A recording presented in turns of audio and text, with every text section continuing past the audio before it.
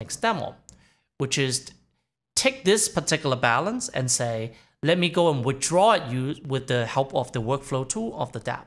So you come to card pay and you want to move the tokens and you want to withdraw those tokens through our bridge software.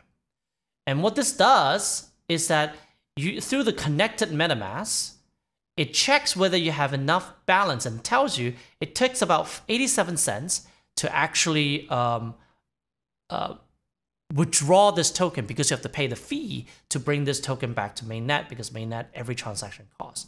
Uh, that seems okay.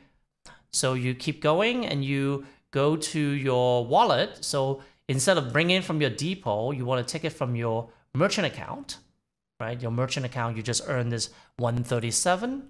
Let me bring $100. So I would say how much you want to withdraw, and I want to do $100 worth. And this is because of DAI and and uh, and and uh, it's a little bit more in USD value, but we let's measure in DAI. And this is now where we have to go to the mobile app and say, do you want to withdraw this fund? So this is a very nice looking transaction that summarize what you're going and then say, okay, let me go confirm. And that allows me to like, okay, now the next step happens and it begins the bridging. Uh, it execute a transaction on Sokol, which is the actual movement into the bridge and that's completed. And then the next step is the Bridge Explorer. This is a little bit slower in a testnet.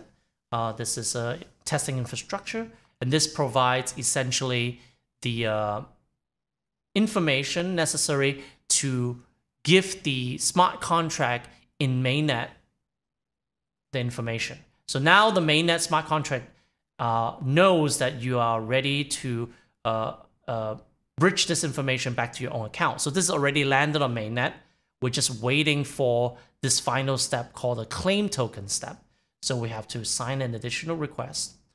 And this, you this is where you have to pay the ETH to actually move this from the bridged pool to your own wallet in MetaMask. And now this is the completion. You withdrew your earnings, which hopefully is more than $100 if you uh, run a coffee shop for a day and this shows what the remaining balance are in this particular depot and you can return to the dashboard.